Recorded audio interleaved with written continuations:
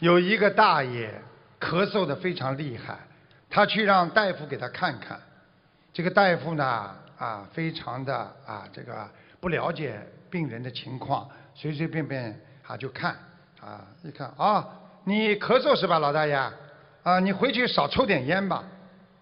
结果这个农民大爷一个多月又来找大夫了，咳嗽更厉害了。大夫就问。我让你少抽点烟，你抽多少啊？老大爷说啊，我一天不到半盒呀。大夫又问，那你以前抽多少啊？嗯，大爷说，我以前不会抽啊。大家没听懂啊？因为这个医生啊，一看见大爷咳嗽，他就是。自以为这个大爷是抽烟抽的，所以他就跟这个大爷说：“你回去少抽点烟吧。”那个大爷说：“哦，医生叫我要少抽点烟。”他就回去抽烟了。所以沟通不到位，一切都白费啊！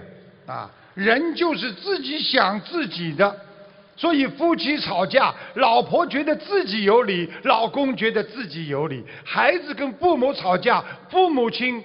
按他的理来跟孩子讲理，孩子按照现在年轻人的理来跟父母讲理，这个理到哪去了？所以没有道理可以讲，除了沟通，多多的理解，自己不要想自己的，所以要多为别人考虑，换位思考，多想别人的痛苦，这个社会才会误解少，理解多呀。